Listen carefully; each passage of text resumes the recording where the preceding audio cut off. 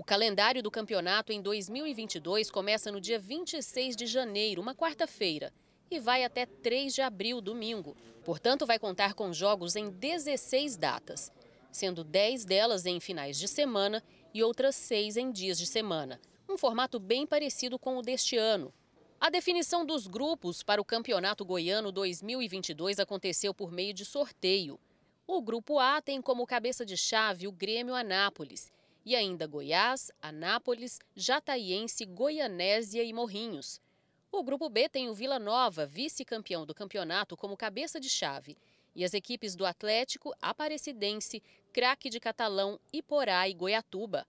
A reunião do Conselho Técnico foi presidida por Ronei Freitas, vice-presidente da Federação Goiana de Futebol, e contou com a presença dos dirigentes dos principais times do estado.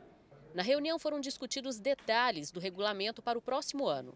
A gente está buscando aí alguns parceiros de TV, alguns parceiros de streamer, alguns, alguns parceiros de, de TV fechada, para que a gente possa dar visibilidade à competição e automaticamente trazer esses patrocínios para bancar essas despesas dos clubes.